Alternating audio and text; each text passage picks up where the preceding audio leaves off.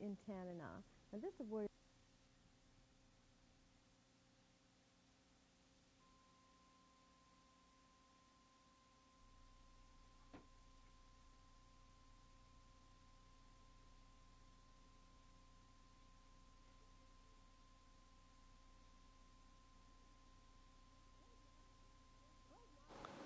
Greg Nothstine is a major force in the Native community. He's an Inupiaq.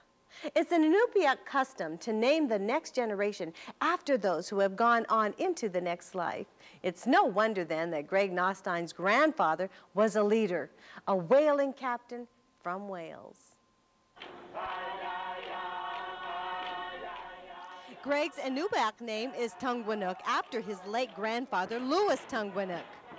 Louis Tungwanook's grave was lost for 35 years. Greg found his grave in October 1990. Prior to that, Greg had a different search.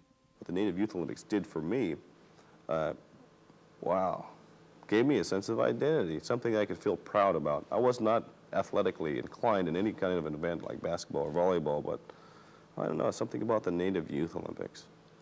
They, um, it's like they gave me the springboard to my identity, and ever since then, things have just snowballed.